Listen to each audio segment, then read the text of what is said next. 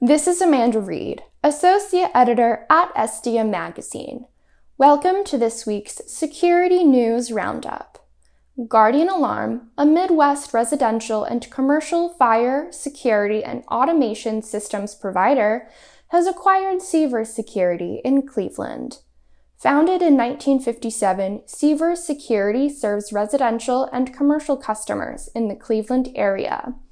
Their business, combined with Guardian's existing branch location in Cleveland, will allow for the combined companies to become one of the largest providers of security and fire alarm services in the region.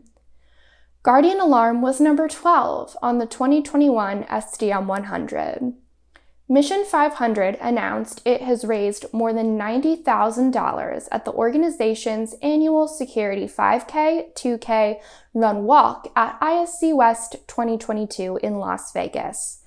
350 registrants signed up for this year's race, including virtual registrants who were unable to attend the event in person.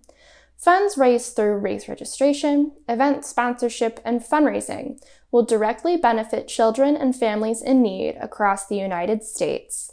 Find the complete race results on the Mission 500 website. Sonitrol, an electronic security company, announced its Southwest Ohio franchisee has made its fifth donation of a canine officer to the Butler County, Ohio Sheriff's Department. The office's donation is part of the company's nationwide program, Sonitrol Gives Back. The program is dedicated to support local law enforcement and schools from donating police canines, a police horse, training equipment, school supplies, school security equipment, and more. Allied Universal announced it has acquired Attenti Group. Allied Universal will integrate Attenti Group with G4S monitoring technologies to create Allied Universal electronic monitoring services. The combined business has 2021 revenues of more than $150 million, with operations in more than 35 countries.